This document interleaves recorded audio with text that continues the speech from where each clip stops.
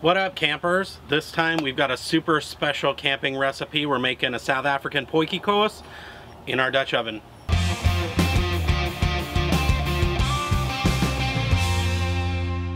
Basically this is a South African stew and it has a bunch of meat, veggies, potatoes, all that good stuff. You slow cook it in the Dutch oven over the open flames and uh, very traditional, super awesome and perfect for camping. Okay, so the first thing we need to do is get all the ingredients prepared. That means chopped up roughly the same size. So I'm gonna go ahead and hand it over to the boss and she's gonna get all that done and then we'll work on getting our fire and coals ready. So I told them that potjie is basically a South African stew, is that right? This is where you're gonna get into some arguments. Don't ever argue with a South African that it's a stew or a soup. It's a potjie. The biggest thing to a potjie is once you get it at kind of that medium or low heat, medium low heat, you actually don't open up the pot and stir it. You layer all your foods and your liquids and then you don't open it until it's, It's ready. ready. South Africans will listen to the potjie a lot. You want to hear a slight, very slight simmer and maybe a pop of a bubble, a boiling bubble here or there, but you really don't want to be hearing it boiling all the time.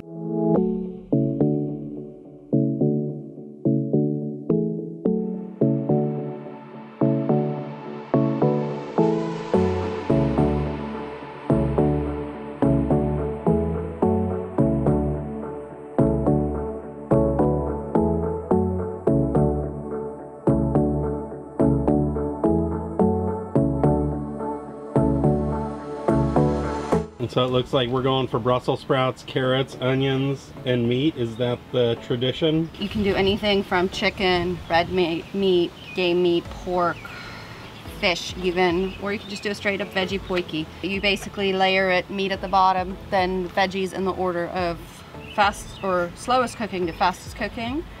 All your you- dense hard stuff first, meat, then your dense stuff, and then gradually add the s- Add stuff the that needs less time. Yep, and then the top is always the uh, starch layer. So we're using potatoes, but that really helps kind of form that seal at the top for the potjie as well. You can use potatoes, rice, pasta, you can use whatever starch you Orzo. want. Orzo.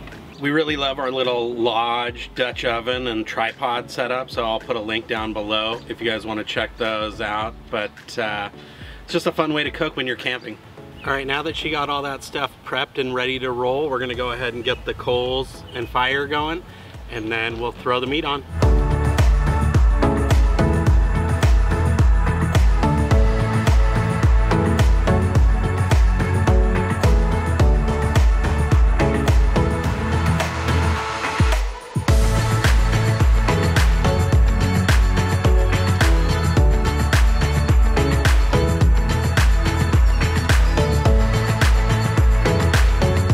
Coals are ready to go. We're gonna spread the wood and the coals. We're gonna do about 20 coals or so for now and then hold some back and we'll just adjust the height and add coals as we need to to kind of keep it at that temperature, like she said, a low simmer. And then we'll get the potjie on and throw in the oil and the meat. And we're also gonna do the onions. The fire is all ready and the pot is hot, which is a critical first step because you need to get some color on that meat and on the onions. So the boss is gonna go ahead and add the oil, onions, and meat. Pro tip, do not leave your seasoning cloth in there when you're heating up the pot.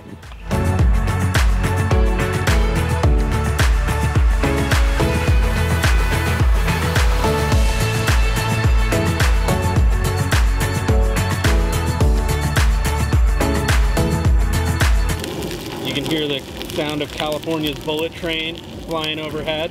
That would be southwest.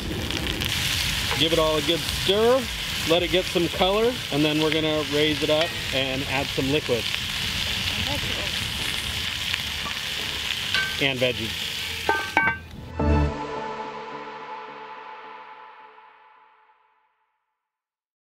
So the meat's been browning and the onions for about five, seven minutes, something like that. Uh, it's got some decent color on it. You could probably go longer on this phase, but we don't want to eat at 9 o'clock at night. So we're going to go ahead and chuck in those dense veggies. And then Nadia's going to make up the sauce that goes with it.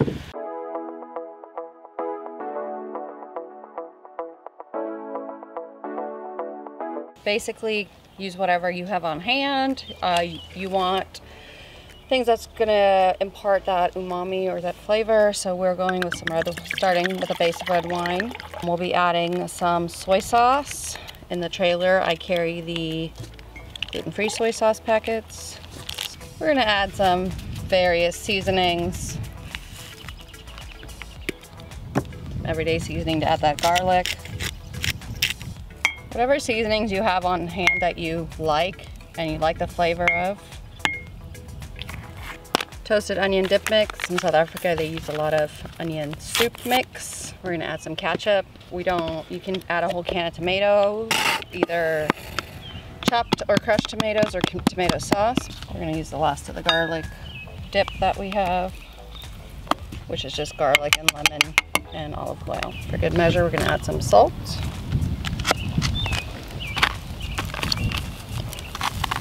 Another splash of wine and that's so you can see about half of a decent sized coffee cup and we'll be watering that down with some, well, water.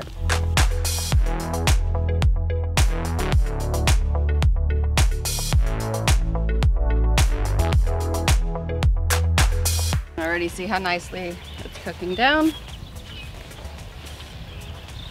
You don't want to stir once it goes into the pot. You want to keep your layers so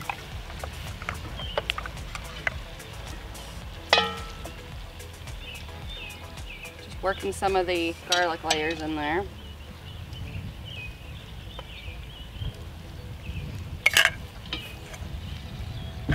And that's your sauce. So again, 40 minutes, put that lid on, make sure it's not boiling, but you do want the simmer, and then we'll check back when it's time to add the rest of the goodies. I recommend the Ove Glove method because you can feel how bad it's simmering in there if you put your hand on top of it. You just don't want to do it with the bare hand.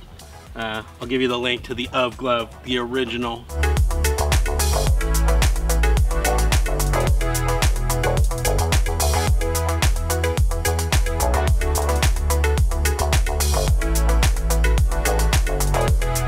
Bonus recipe.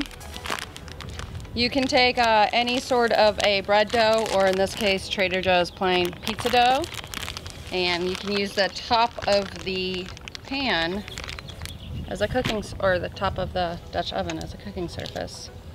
Oiling my hand so it doesn't stick all over me.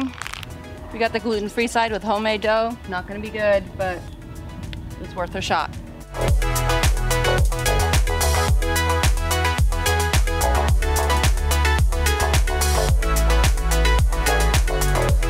Hardest part about making potjie?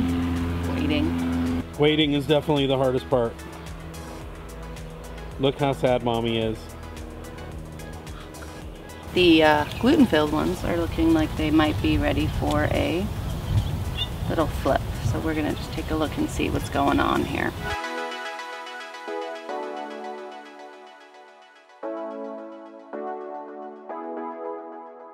Real quick on the Dutch oven, this is why you get the one with the lid that has a rim on it. Can't cook on top of it at the same time. So you can always make like these rolls or desserts. Nadia gave me a really weird look. So you can't make desserts, but you can definitely make rolls. Ha ha ha. You can see from that there's still enough liquid. Let's take a look at the liquid levels. Oh yeah. It's almost covering everything. Which isn't a thing, because once again, it's not a soup, it's not a stew, it's a potjie. So once you move everything out of the way and make a little hole, you'll see that there is a, about a quarter of an inch of liquid in there, which is fine. Next layer, we're doing some of the bigger mushroom chunks, some green beans. We're gonna add some of this liquid that the veggies have been sitting in. Spread it nice and evenly, so no matter where, from which side you dish up, you're getting some of everything. And then comes the final layer, in our case, potatoes. And life is gonna be delicious. Tommy hungry. The lighting is terrible, but we just pulled off the rolls. We're gonna eat those as a little snack because our kids are getting ravenous. I didn't get home from work till about six, so you usually want to start this a little earlier. Burning hands, but you can see nicely cooked through.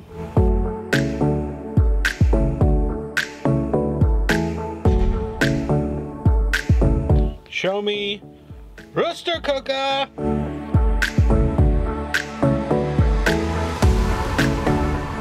All right, let's take a look.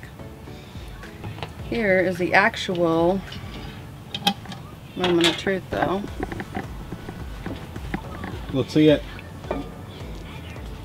Ho ho ho ho ho.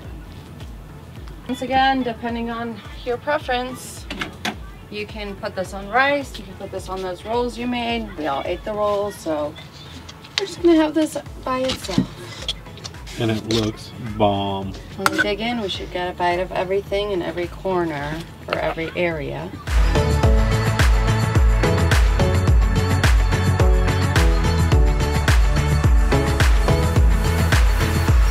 And after all that time cooking, A little idea, this is chuck.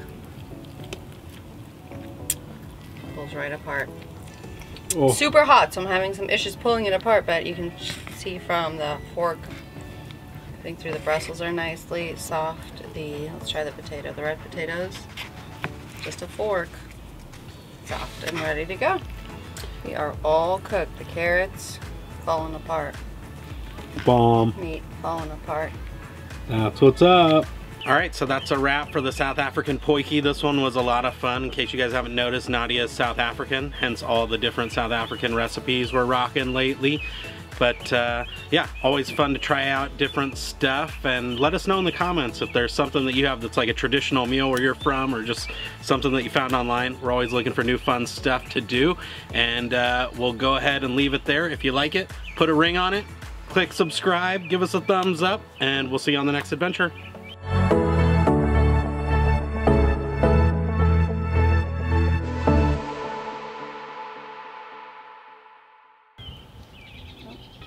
Mom's butt's right in the GoPro, so we're gonna get a nice time lapse.